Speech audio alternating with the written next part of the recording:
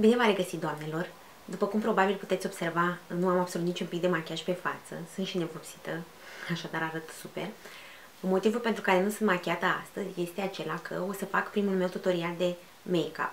O să vă arăt unul dintre machiajele pe care le-am purtat cel mai des în această vară. O parte dintre produsele pe care o să le folosesc sunt produse pe care le folosesc exclusiv vara. Înainte de a-mi aplica machiajul, bineînțeles că mi-am uh, pregătit uh, fața, mi-am uh, curățat tenul și am folosit acest balsam de ochi de la Vichy din gama Aqualia Thermal, despre care am scris și pe blog, și o cremă cu factor de protecție 50, Sunlight de la Ivaterm.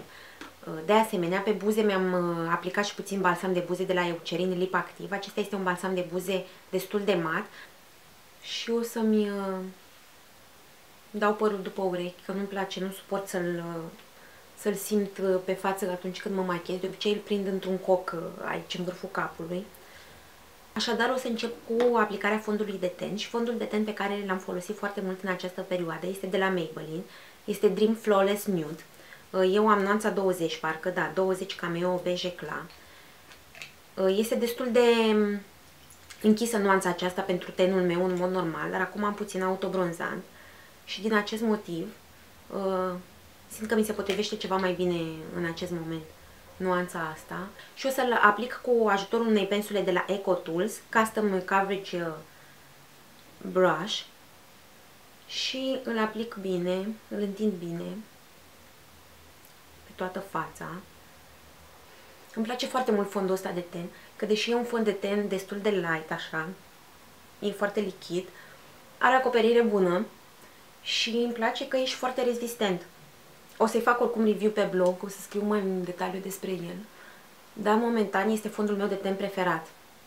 Acum că am aplicat uh, fondul de ten, o să folosesc uh, o bază de machiaj pentru ploape de la Too Faced Shadow Insurance. Eu o folosesc de foarte, foarte mulți ani, această bază de machiaj. Cred că ăsta e al șaselea an când o folosesc E foarte, foarte, foarte bună. Rezistă foarte bine machiajul uh, ploapelor pe parcursul zilei. Nu se strânge între, ploap, între pliurile ploapei și îmi place foarte, foarte puțin să o duc și sub ochi pentru că mă ajută la rezistența anticearcănului și nu se mai strânge între riduri pe parcursul zilei. Pentru că am niște cearcăne absolut uriașe, că nu am dormit uh, prea mult azi noapte. O să folosesc un anticearcăn de la L'Oreal, anticearcănul Lumii Magic. Nu știu exact ce nuanță am eu, dar din câte mi-aduc aminte, cred că este nuanța 2. Și îl aplic sub uh, ochi, puțin așa, un pic și pe aripile, pe comisurile nasului aici. A, e nuanța 1 light, acum am văzut. Îmi place să-l întind cu degetele, așa prin tapotare, pentru că am observat că dacă îl întind cu uh, pensula, uh, nu mai are, are acoperire chiar și mai mică decât uh, o are în mod obișnuit. Și mi se pare că dacă îl întind cu degetele, se fixează mult mai bine uh, sub ochi. După ce am aplicat anticearcănul, întotdeauna îl fixez cu pudră, mă rog, uneori uit, dar uh, de cele mai multe ori îl fisez cu pudră și de obicei folosesc altă pudră decât cea pe care o folosesc în mod normal uh, pe toată fața și o să folosesc uh, Chisel Chicks Contour Kit de la Barry M din simplu motiv că sunt în teste cu acest kit și vreau să văd, vreau să scriu despre pe blog și în această perioadă îl folosesc destul de mult ca să-mi fac o părere despre el și o să folosesc nuanța aceasta cea mai deschisă de aici din capăt cu ajutorul unei pensule Setting Brush de la Real Techniques și tot așa prin mișcări de tapotare. Nu trag uh, pielea pentru că o să mut uh, o să mișc deloc anticearcă, nu și nu-mi doresc asta, evident. Și după ce am fixat anticearcă în sub ochi, trec direct la machiajul uh, ochilor. Și cel mai iubit fard al meu din această vară este de la Anastasia Beverly Hills și se numește China Rose. Mi se potrivește foarte bine culorii mele de ochi și cred că și ochilor albaștri se potrivește foarte bine. Și probabil că și ochilor căprui, că oricum ochilor căprui se potrivește absolut orice culoare de uh, fard.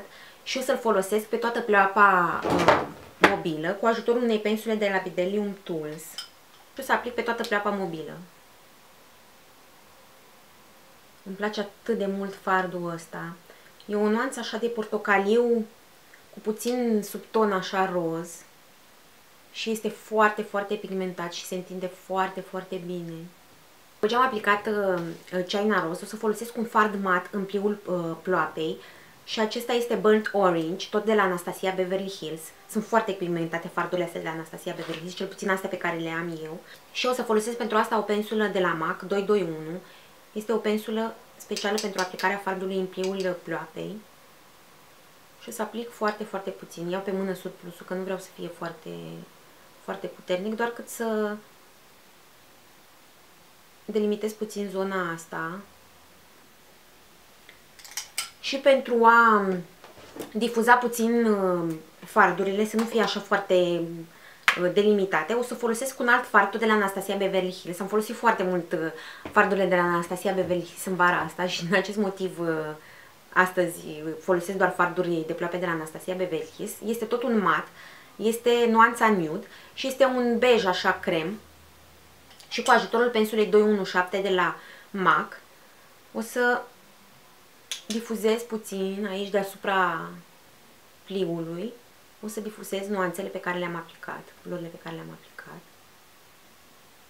Și pentru a delimita puțin privirea, să pară un pic mai intens așa, o să folosesc un creion dermatograf de la MAC, nuanța Teddy, care este un creion dermatograf maro, așa, bronz, nu este negru, nu prea folosesc uh, în combinația asta un creion negru, din simplu motiv că mi se pare că uh, asprește puțin privirea și pentru zi cred că stai un pic mai soft așa și îl aplic în colțul uh, exterior de la jumătatea ploapei până spre exterior nu-l aplic chiar din uh, colțurile interne ale ochilor, din simplu motiv că eu am puțin ochii apropiați și cu cât aplic uh, creionul dermatograf mai aproape de uh, nas, cu atât îi face să pară și mai apropiați. Dacă aplic un pic mai în exterior, îmi dă senzația că ochii sunt ceva mai depărtați decât sunt ei în realitate.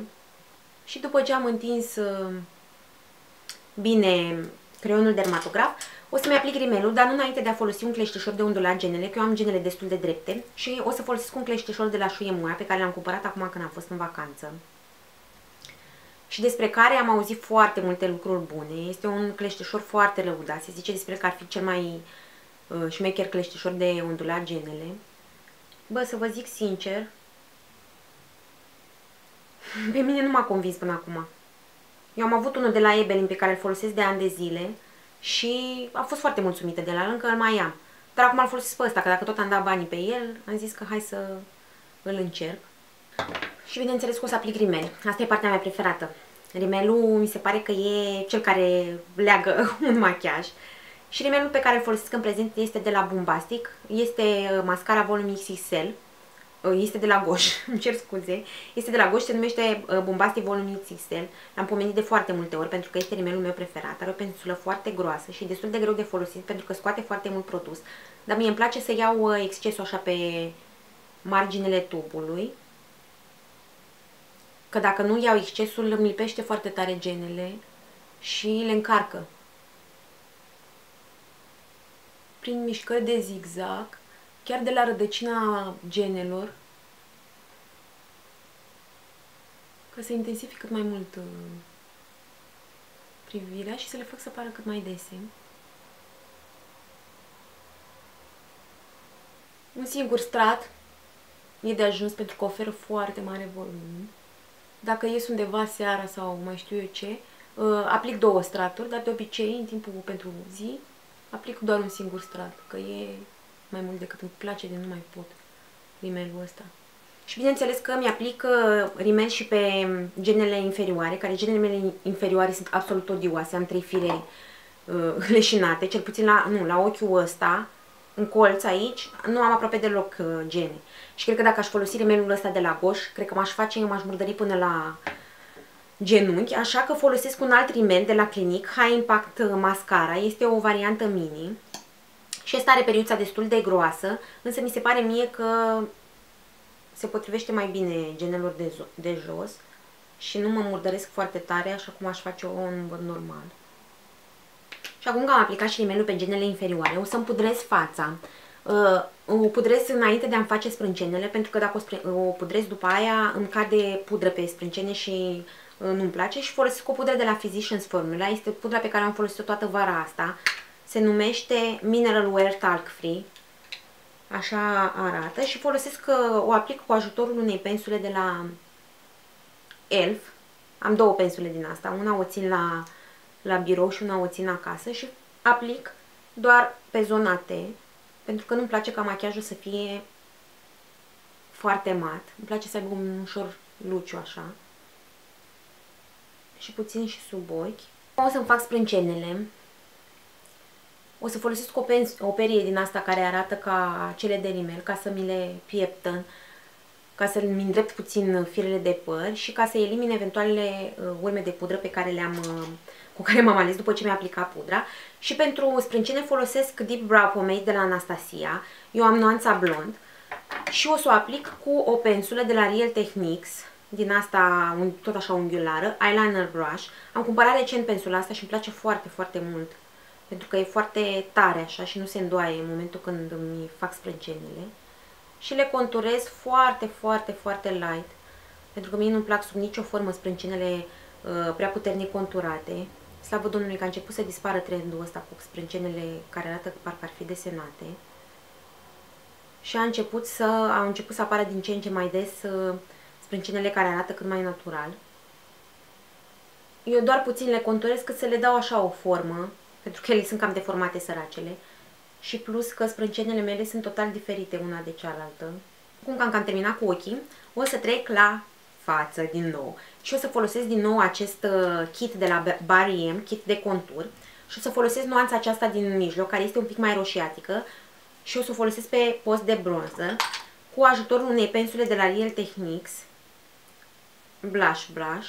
Și o să aplic un pic așa pe pomeții aici, în laterală.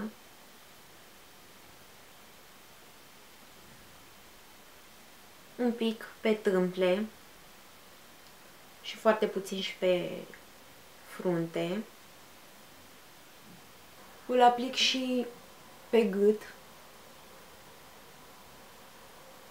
Și o să folosesc un blush, un fard de obraz de la NARS. Nuanța este Gina. Fardul ăsta de obraz este cel pe care eu îl folosesc cel mai des vara și îl folosesc exclusiv vara pentru că este o nuanță foarte caldă, un corai așa portocaliu și o să-l aplic cu o pensulă, tot de la Real Techniques, din asta Duo Fiber. Se numește chiar Duo Fiber Face Brush. Și mie îmi place să aplic aici pe pomeți, în lateral, și foarte, foarte puțin, cu ce mai rămâne pe pensulă, să duc și pe obraj. Din simplu motiv că cu cât uh, înaintez în vârstă, din păcate, fața ți se lasă, gravitația își pune cuvântul și cu cât aplici mai uh, aproape de, cu cât aplici mai aproape de nas pe, pome, pe obraj uh, fund, fardul, cu atât îți dă senzația că fața e picată. Dacă îl aplici ceva mai sus, îți dă o ușoară senzație de lifting a feței.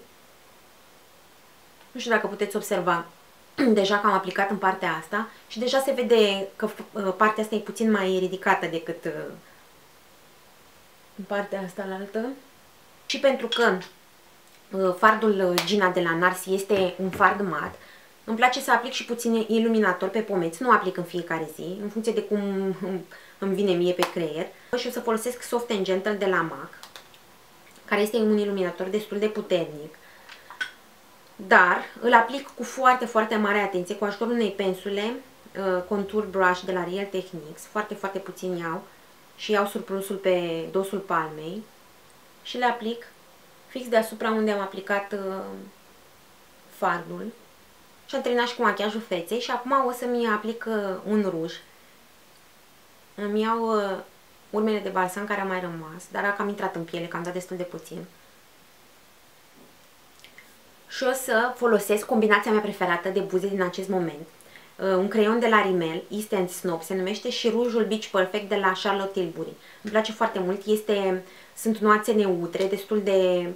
pot fi folosite la orice machiaj. Îmi conturez în primul rând buzele.